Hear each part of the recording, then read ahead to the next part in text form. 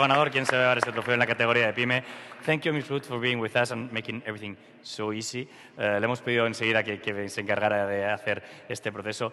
Uh, va a hacer también un discurso en español. She's going to speak in Spanish, and we really appreciate that. Uh, but before, she's going to tell us the winner. So, Ms. Ruth, I give you the micro, and uh, let us know who is the winner of this second prize. And the winner is Airfall Internacional. Pues un aplauso muy grande para ellos, para Airfall. Muchísimas gracias, Miss Ruth. Entrega el premio en nombre de la Comisión Europea. Recordamos que mañana y durante tres días arrancan los Industry Days al nivel más alto y es un honor tenerla con nosotros. Entrega el premio, Miss Ruth, a los ganadores de Airfall International. Sí, os voy a pedir también que poséis con nuestros compañeros gráficos.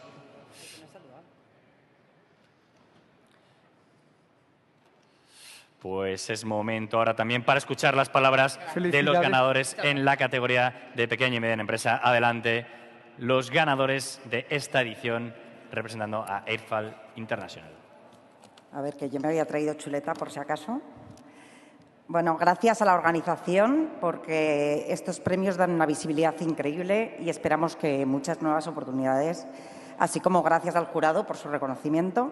Enhorabuena a todos los finalistas, ya que llegar a ser finalistas ya es algo que hay que celebrar y que pone en valor el esfuerzo realizado para transformarse.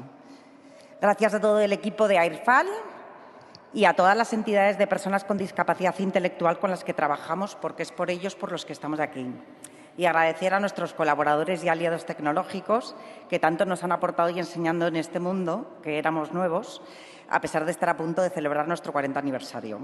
Mencionar también a los valientes que han decidido implementar soluciones como Atenea, que es nuestra solución tecnológica, a pesar de las resistencias al cambio existentes en la mayoría de las organizaciones. Porque además de transformarte y de ser capaces de desarrollar soluciones únicas que no existen en el mercado y que son necesarias para cumplir con todo lo que se ha ido comentando a lo largo de estos días, que son la digitalización, la descarbonización, la eficiencia energética y otros muchos indicadores estratégicos, tiene que haber alguien, esos valientes, que estén dispuestos a apostar y salvar las barreras de él siempre se ha hecho así, de manera que se pueda avanzar a la velocidad necesaria. El Congreso ha cambiado de nombre y hace referencia a pymes, a estas pymes que, como nosotros, podemos aportar a las grandes empresas y a todo el mercado gran flexibilidad y agilidad con solvencia. En AIRFAL queremos ayudar a la industria, especialmente aquella con entornos potencialmente explosivos y complicados, a digitalizar sus instalaciones de manera inalámbrica y nos comprometemos firmemente a hacer de ello una experiencia inolvidable. Muchas gracias. Un aplauso muy grande para los representantes de AirFAL International. Señor Costas, le voy a pedir todavía que esté un ratito más conmigo para escuchar las palabras de nuestra representante.